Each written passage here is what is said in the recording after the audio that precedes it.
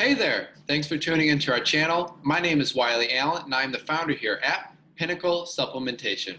Today we are going to continue our discussion on protein, but first let's remember what we established in the previous video on protein. It is important that absolutely everyone is getting enough protein in their diet.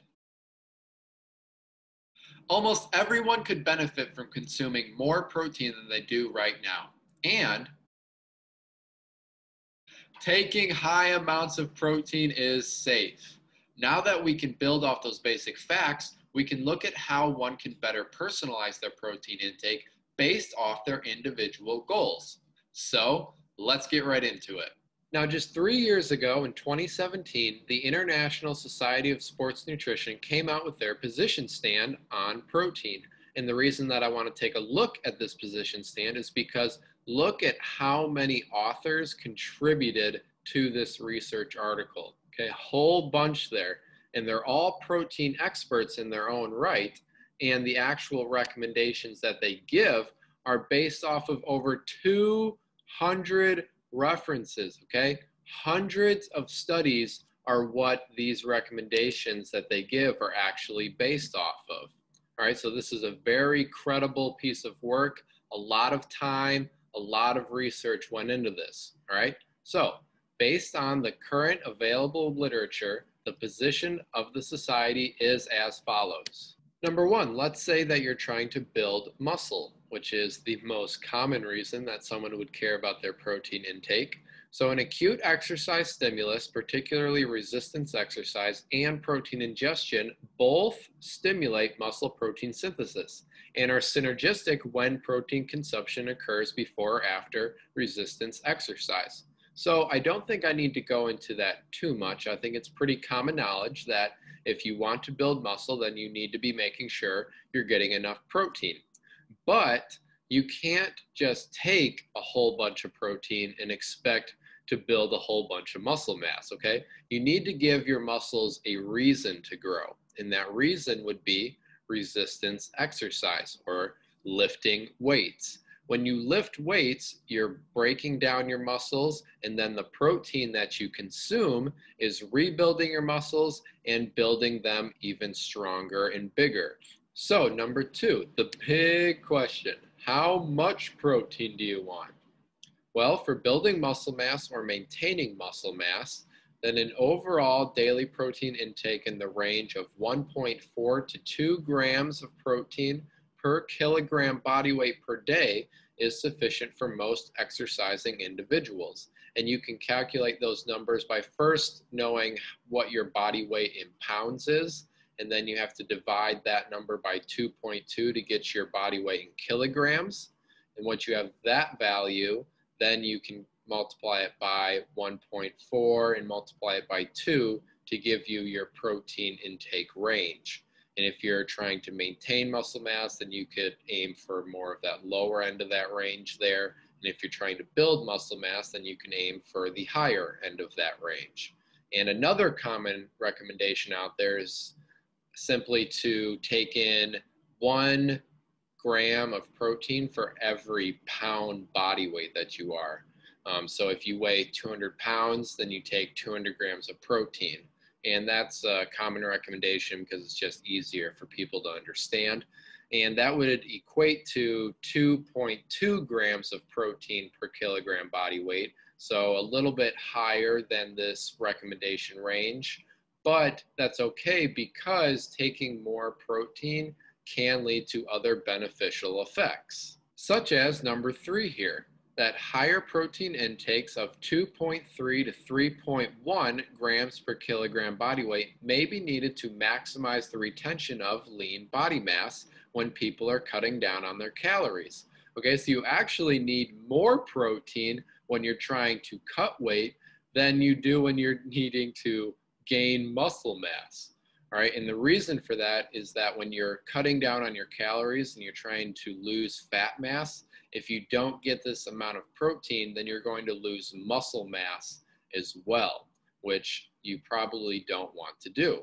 All right, so number four here as well, that higher protein intakes of more than three grams per kilogram body weight has positive effects on body composition, i.e., promoting loss of fat mass. So, taking more than three grams of kilogram body weight of protein not only is going to help you maintain lean body mass, but it's actually also going to help promote even more loss of fat mass.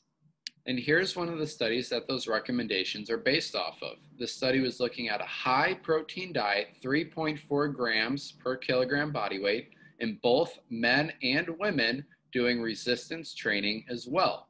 And the results were that the subjects were split into two groups. They consumed either 2.3 or 3.4 grams of protein per kilogram body weight.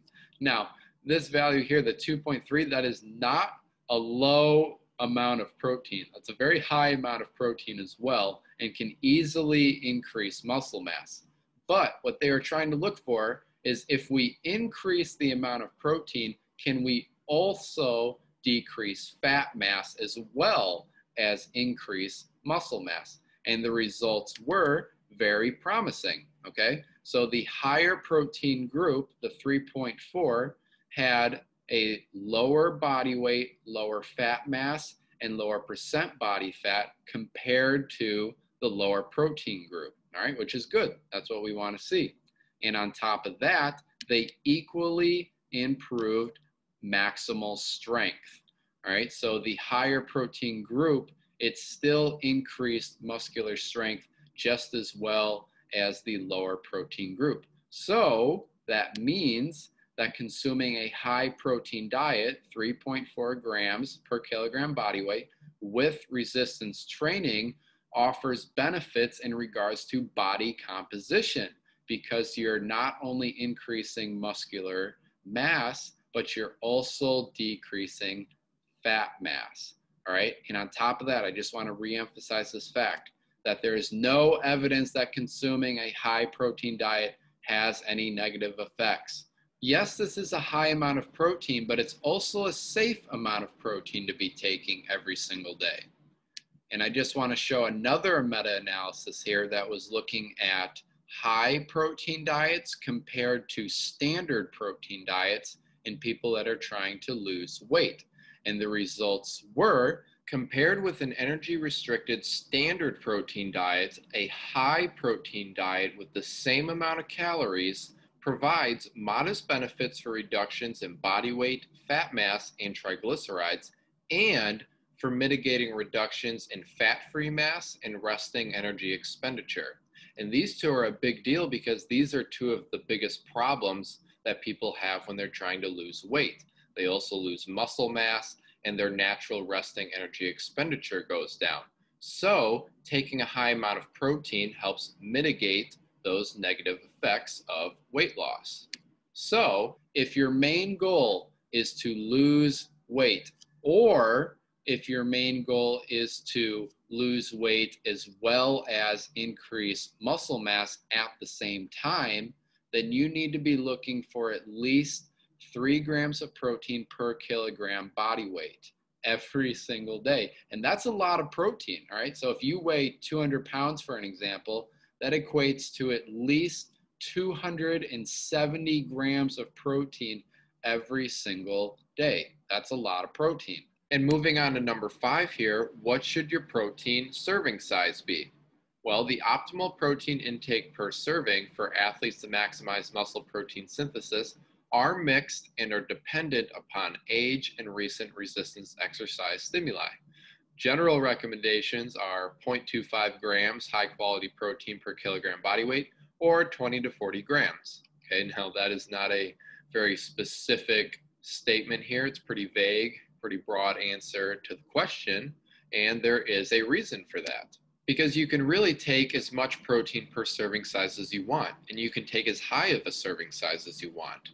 Unfortunately, there's a lot of people that are stuck on this belief that there's a maximum amount of protein that you can take per serving, like 20 to 30 grams, that is going to maximize muscle protein synthesis. And then any amount more than that is just going to be wasted.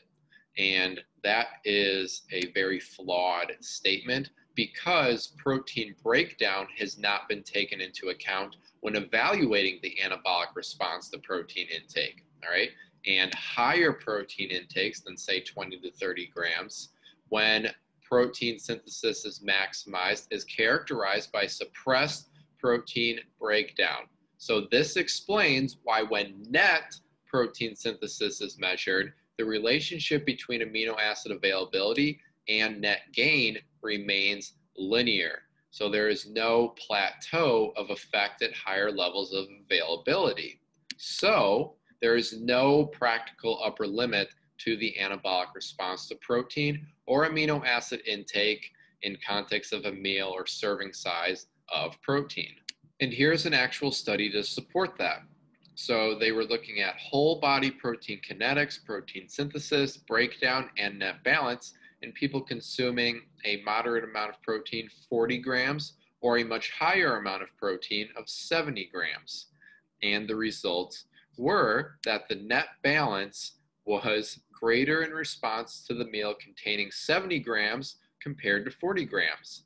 The greater net balance was achieved primarily through the reduction in protein breakdown and to a lesser extent the stimulation of protein synthesis. So the 40 grams did maximize muscle protein synthesis, but the net balance was greater achieved by the 70 grams because it reduced protein breakdown. So that means that whole body net protein balance improves with greater protein intake. So if you can take as much protein per serving as you want, then what should you actually be looking for per serving size? Number six here, each protein dose, you should be looking for up to 3,000 milligrams or three grams of leucine in addition to getting all of the other essential amino acids in your protein serving as well. So why is leucine singled out here? Well, if you remember from the previous video, consuming meals that contain 3 grams of leucine maximizes muscle protein synthesis. And it does that by stimulating the mTOR signaling pathway. And it has been demonstrated that leucine accounts for the majority of the anabolic effect of a meal and the administration of amino acid mixtures lacking leucine or with only small amounts do not stimulate muscle protein synthesis in adults. Now, figuring out how much leucine is in the food that you eat may be more difficult, but the protein supplements that you purchase, you should be able to figure out how much leucine is in it if the product provides you with an amino acid profile like this product does. So you can see right on here that this product includes 3,000 milligrams of leucine in each serving, which is perfect. That's the exact amount of leucine that we're looking for. So when you're looking for a protein supplement, you should look for one that provides you with the amino acid profile. That way you know how much leucine you're getting per serving. Now let's move on to number seven, which importantly says that your protein doses should be evenly split up throughout the day. So like every three to four hours. Now, yes, you can take as much protein per serving as you want, but that does not mean that you should take your entire daily protein intake all at once.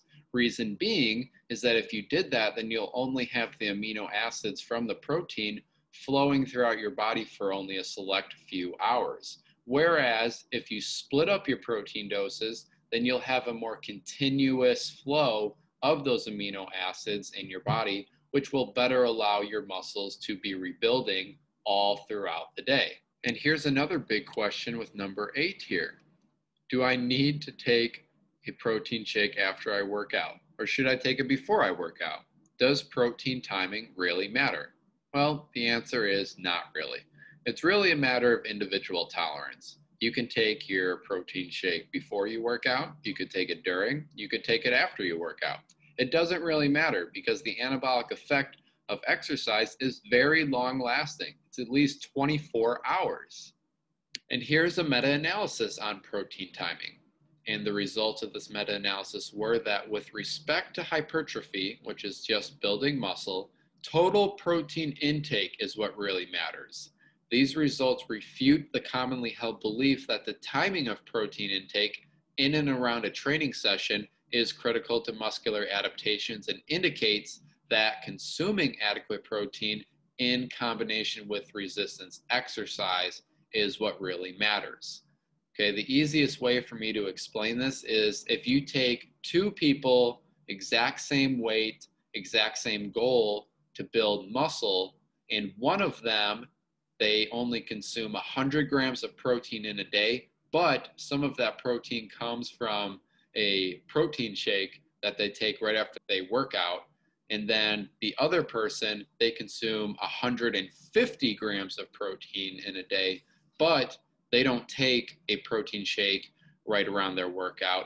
They are still going to build more muscle than the first person, even though they didn't take that protein shake, because they are taking more protein throughout the day. Okay, what really matters is how much protein you're getting in a day, not when you're taking that protein. Okay, now there's nothing wrong with taking a protein shake before or after you work out. If you like to do that, there's nothing wrong with that.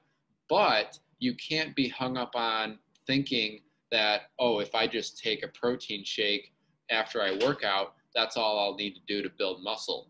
No, what you need to do is be making sure that you're getting enough total protein intake throughout your day. And there's so many different protein options if you do want to supplement. There's whey, there's plant protein, there's hydrolyzed, there's isolates, there's concentrates, there's casein, there's milk protein, there's native protein. So many different options out there, but you're going to have to wait till next time to learn all about them. So let's recap what insights we made in this video.